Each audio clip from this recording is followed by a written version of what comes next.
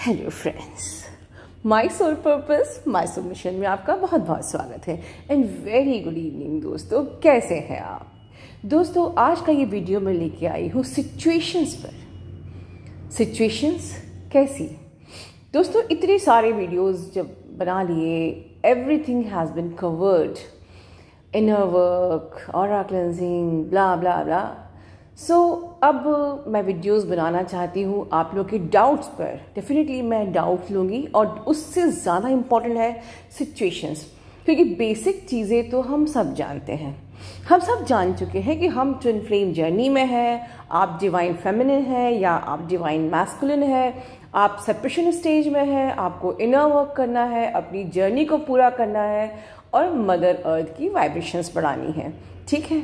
ये बेसिक हम सब जानते हैं। इस बीच में हमको लोगों फॉरगिवनेस हमको यूनिवर्स को ग्रैटिट्यूड पे करना है, हमको फॉरगिव करना है, हमें फॉरगिवनेस मांगना है, हमें सारी हीलिंग्स करनी है एंसेस्ट्रल हीलिंग करनी है इनर चाइल्ड हीलिंग करनी है, और हीलिंग से मुझे याद आया दोस्तों, ये जो टाइम चल रहा है इलेवन इलेवन पोर्टल के बाद का, इसमें आप लोगों की लाइफ में जो थोड़ी बहुत उथल पुथल चल रही है, ये हीलिंग है। राइट चर्निंग हो रही है. चर्निंग आपके अंदर चर्निंग जैसे कि लाइट कोड्स आपकी बॉडी में एक्टिवेट कर रहे हैं.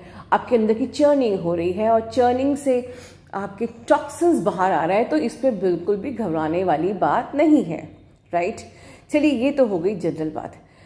अब बात है सिचुएशंस हर किसी के लाइफ की सिचुएशंस अलग होती हैं। सर हर किसी की कहानी अलग होती है। हर कि, किसी की स्टोरी में सर्कमस्टांसेस अलग होते हैं ट्रबल्स अलग होती है। किसी के लिए जर्नी बहुत इजी होती है क्योंकि अभी तो हम बात कर रहे हैं अपने ट्विन फ्लेम से। किसी की जर्नी ऐसी होती है कि वो ब्लॉक्ड पड़े हैं कई महीनों से। किसी की जर्नी ऐसी होती है कि दस साल से देखा तक भी नहीं है बाई बीस साल से देखा भी नहीं है, और बस फिर भी वो दिमाग से जाते ही नहीं। ठीक है? सबकी कहानी, किसी की कहानी में बड़े बड़े बवाल हुए और उसके बाद अब हम दूर हैं, अलग हैं। जब हम ट्विन फ्लेम हैं, जब हम एक आत्मा है तो क्यों हम अलग हैं? हमारी जुड़वा आत्मा से, हमारी दूसरी आत्मा से प्यार करना तो हमारा अधिकार है। और क्या हम पूरी ज़िंदगी पूरी ज़िंदगी हम अलग रहेंगे? कब मिलेंगे? या मिलेंगे या नहीं मिलेंगे? ठीक है? दोस्तों, सबकी सिचुएशंस अलग हैं। और इसीलिए, और आपके ये आंसर्स बाहर नहीं मिलते, क्योंकि ये सिर्फ़ आपकी कहानी, आपके क्वेश्चंस हैं राइट right? तो आई थॉट मुझे मन में आज आया कि मैं क्यों ना क्यों एक एटलीस्ट वन सिचुएशन को हर दिन डिस्कस करूँ जिससे आप रेजोनेट करें जो आपको इस जर्नी में हेल्प करे। मैं जो भी सिचुएशंस मेरी काउंसलिंग में आएँगी मैं उसी के बिहाफ पे डिस्कस करूँगी।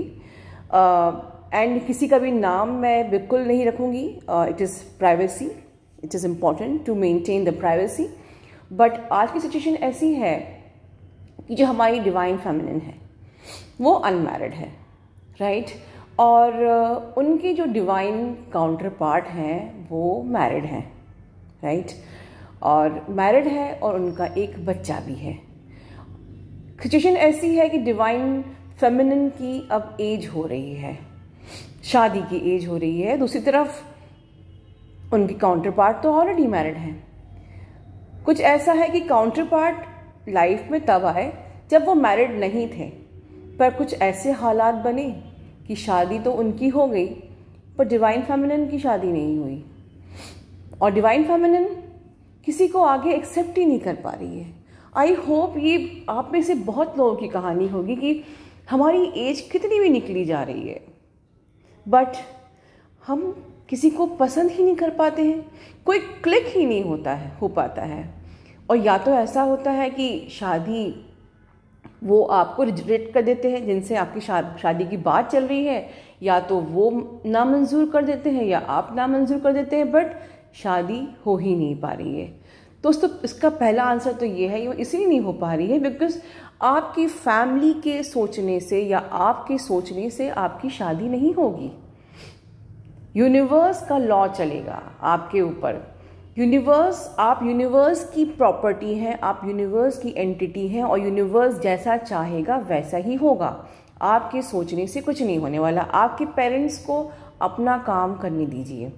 वो अपने कर्म कर रहे हैं लेट देम डू कोई दिक्कत नहीं है। ठीक है? पर आपकी मैरिज तभी होगी जब एटलीस्ट आपकी जर्नी पूरी हो जाएगी। Right right? आपके और आपके पर्सन के कर्माज कंप्लीट क्लियर हो जाएँगे कंप्लीट हो जाएँगे। ठीक है? बट सवाल ये है कि डिवाइन फेमिनिन किसी और से शादी करना ही नहीं चाहती। वो she can't accept anyone else in his life बिल्कुल सही है, इसमें कहीं डिवाइन फेमिनिन की कोई मिस्टेक नहीं है। जब हमने ये सिखाया है आपको, जब मैंने ये बताया है, ये मैं लेके आई हूँ कि आपको अपने ट्विन फ्लेम को चूज़ करना है, आपको अपने ट्विन फ्लेम को क्लेम करना है। तो how could you think about someone else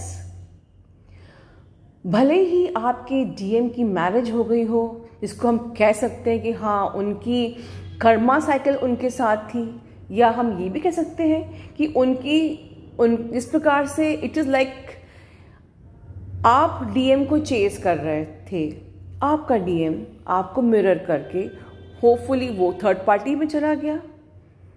वो थर्ड पार्टी में चेस कर रहा था या सिचुएशंस ऐसी बन गई थी। समटाइम्स आपके डीएम की नई गर्लफ्रेंड बन जाती है। तो कहीं ना कहीं आप ऐसा समझिए सिचुएशन को कि अगर आप अपने डीएम को चेस कर रहे हो तो आपका डीएम किसी और को चेस कर रहा था। या उसकी किसी और से शादी हो गई। अगेन मिररिंग क्योंकि आपने खुद को चूज़ नहीं किया था तो आपके डीएम ने किसी और को चूज़ कर लिया। बिकॉज़ आपका पर्सन तो आपके, आप खुद हो। आपका पर्सन तो आप ही हो। You are your twin flame और आपका पर्सन आपके अंदर ही है। ठीक है? अब आपकी अवेकनिंग तो हो रही है स्पिरिचुअल प्रैक्टिस से, अपने इश्यूज़ को हील करने से। ठीक है? आपके पर्सन ने आपको आपसे रन किया, आपको सोल शॉक दिया और आपकी स्पिरिचुअल अवेकनिंग हो गई राइट आपके पर्सन को भी सोल शॉक मिलेगा। किससे? थर्ड पार्टी से। ये प्रोसीजर है। थर्ड पार्टी को आप लोग take it as a blessing क्योंकि उनकी अवेकनिंग वहीं से ही होनी है। जब उनको ये रियलाइज़ होगा, वो आपसे रन कर रहे हैं, उनकी गलती नहीं है, क्योंकि आप भी खुद से रन कर रहे हो। आपने खुद को चूज़ नहीं किया, इसलिए उन्होंने आपको चूज़ नहीं किया। ठीक है? उन्होंने थर्ड पार्टी को चूज़ किया। अब third party is a medium to give your person spiritual awakening through soul shock definitely soul shock क्यों हम लोग कह रहे हैं कि आजकल डीएम बहुत परेशान हैं, उनको होपफुली वो अपने आप को बहुत फीवरिश फील कर रहे होंगे ब्लड प्रेशर ऐसी ऐसी प्रॉब्लम हो रही होगी, जो जो लोग अवेकन हो रहे हैं। ठीक है? क्योंकि वो कंफ्यूज थे अब तक, वो, उन्होंने आपको चुना नहीं था। पर जब आपने खुद को चुन लिया तो now they are choosing you और इसलिए वो कंफ्यूज हो रहे हैं कि यार, मैं तो रन कर रहा था थर्ड पार्टी में था। अब मुझे वहाँ वो सेटिस्फैक्शन क्यों नहीं मिल रहा? इसलिए वहाँ नहीं मिल रहा, क्योंकि अब आपने अपने पर्सन को चूज़ कर लिया।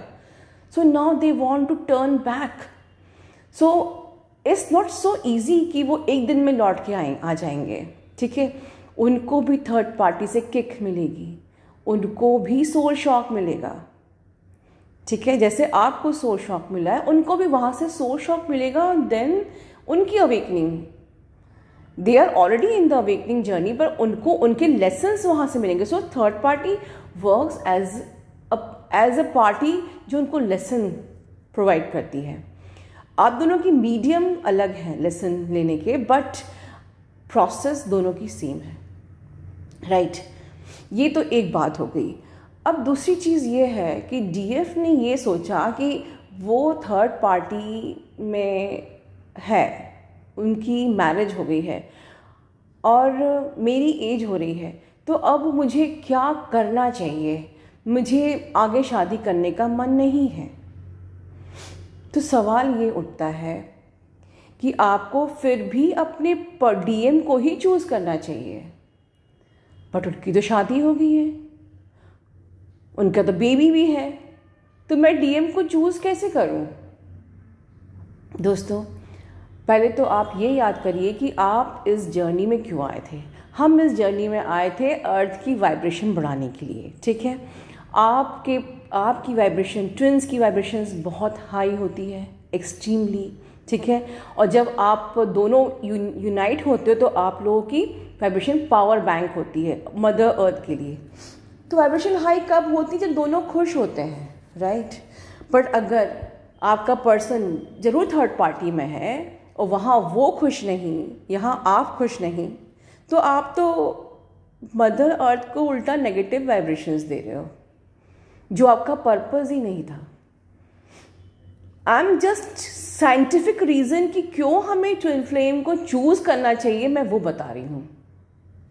ठीक है? सिर्फ़ सुन लेने से नहीं काम होता। There is a reason why I should choose my twin flame there is some proven reason scientific reason yes हम यहाँ पर रोमांस करने के लिए नहीं आए. Definitely this is not romantic journey actually it is romantic journey and your twelve flame is ultimate lover but this is spiritual journey इसका purpose है मदर अर्थ की वाइब्रेशन बढ़ाना. लेकिन अगर आप वहाँ दुखी, आपकी ट्विन ने किसी से शादी कर ली या आपने किसी और से शादी कर ली और आप दोनों ही दुखी ठीक है? दोनों ही हैप्पी नहीं। तो मदर अर्थ को आप लोग नेगेटिव वाइब्रेशंस दे रहे हो। क्या यूनिवर्स ये चाहेगा? बिल्कुल नहीं। And second thing D D F ये सोचती है कि उसकी तो शादी हो गई है, उसका तो बच्चा हो गया है, वो मेरा कैसे हो सकता है? तो कहीं ना कहीं आप सोसाइटी प्रोग्रामिंग पर ही अटके हुए हो। ये प्रोग्रामिंग ही तो चेंज करने के लिए हम आए हैं।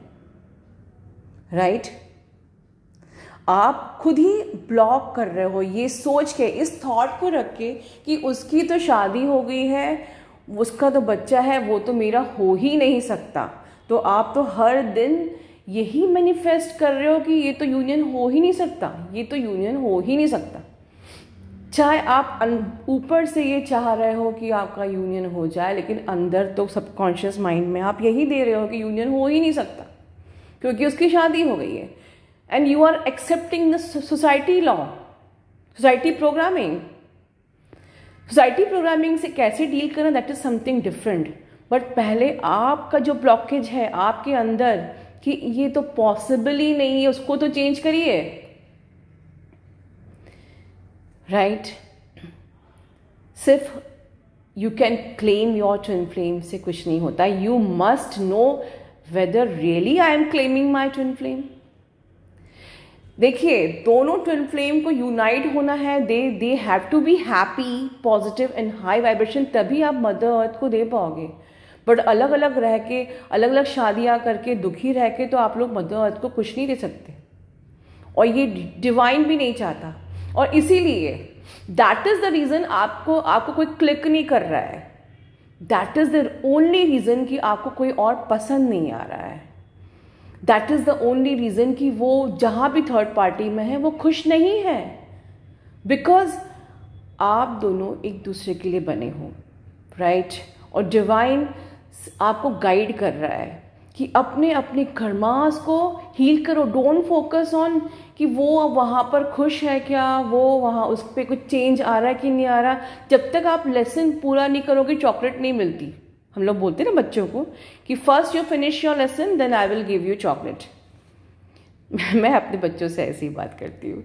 सो so, जब तक लेसन पूरा नहीं होगा चॉकलेट नहीं मिलेगी डीएम नहीं मिलेगा।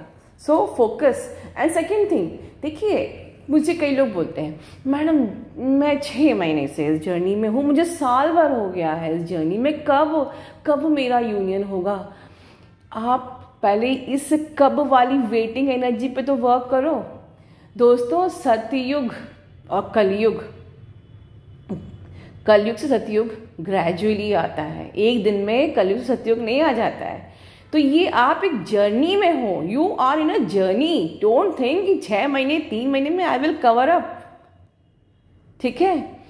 ये जर्नी डिवाइन की जर्नी है. ये आपके हाथ में नहीं है ये मेरे हाथ में नहीं है. एंड यस yes, मैं यहाँ पर सिर्फ़ गाइड कर सकती हूँ. मैं आपकी ज़िंदगी जी नहीं सकती. वो आपको ही करना पड़ेगा. मैं कितना भी इनर वर्क बता दूँ कितने टिप्स सब कुछ बता दूँ. मैंने मेरे पिछले 600 वीडियो में ढेर सारे मैंने सीक्रेट्स टिप्स एंड पॉइंट्स क्या क्या कुछ बताया था। बहुत लोगों ने इस पर वर्क किया ऑनेस्टली और 350 से ऊपर रीयूनियन हुए भी हैं। बट थिंग इज़ दिस जो अभी तक यूनियन नहीं कर पाए हैं, उनको ये समझना है कि ये जर्नी आपको ही चलनी है। वी कैन ओनली गाइड और ये बात याद रखिए कि हर चीज़ ग्रेजुअली होती है। आपके हिसाब से छः महीने और साल भर में डीएम सॉरी यूनिवर्स नहीं करेगा। ठीक है? फोकस ऑन कि हमारे कर्मास पूरे फिनिश होना चाहिए, हमारे इश्यूज़ पूरे हील होना चाहिए, हमारे जितने भी टॉक्सिन्स हैं सारे के सारे रिलीज़ हो जाना चाहिए। उसके बाद leave it on the universe आपने इतना इनर वर्क किया, आपने इतनी मेहनत करी, आपने ओम चैंटिंग किया, आपने इतने भगवान के पाठ किए, सब कुछ किया, इतने अच्छे कर्म किए, और भगवान क्या इतना छोटा है कि वो आपको कुछ आपको कुछ उसका रिज़ल्ट नहीं देगा? ऐसा नहीं है। Why I am thousand percent sure आप जितना भी इनर वर्क करोगे divine will give you the best best test best you deserve really trust me यकीन मानिए। एंड लास्ट में ये कहूँगी, जो भी पर्जिंग हो रही है, जो भी चर्निंग आपके अंदर हो रही है, उससे घबराइए मत। आपके टॉक्सिन्स पर यूनिवर्स की पूरी नज़र है। अगर आपको नहीं भी पता है ना कि आपके अंदर क्या क्या टॉक्सिन्स है कहाँ कहाँ हीलिंग करनी है कौन कौन सी हीलिंग करनी है यूनिवर्स अपने हिसाब से ट्रिगर करवा करवा के आपको पूरा सैनिटाइज कर देगा। डोंट वरी ये पोर्टल्स होते ही हैं आपकी हीलिंग के लिए। ठीक है? ये पोर्टल्स होते ही हैं आपके एसेंशन के लिए। Yo no need to worry आपको जितना पता है कि मेरे अंदर ये ये इश्यूज़ हैं okay write it on the register and work on it जो आपको नहीं पता है, वो यूनिवर्स अपने हिसाब से करवा लेगा। आप ट्रिगर होंगे आपको उस पर उन ट्रिगर्स को ऑब्ज़र्व करना है, उन उनको सोचना है कि आपके लिए क्या मैसेज है इस ट्रिगर से और उस ट्रिगर पे वर्क करना है। चर्निंग तो पूरी यूनिवर्स अपने हिसाब से करवा लेगा। डोंट वरी बट इस चर्निंग को पॉजिटिवली लीजिए कि ये आपके असेंशन के लिए हो रही है, आपके ट्रांसफॉर्मेशन के लिए हो रही है, आपकी पॉजिटिविटी के लिए हो रही है, आपके भले के लिए हो रही है। इसमें घबराना नहीं है। ठीक है दोस्तों? God bless you all love you all and good night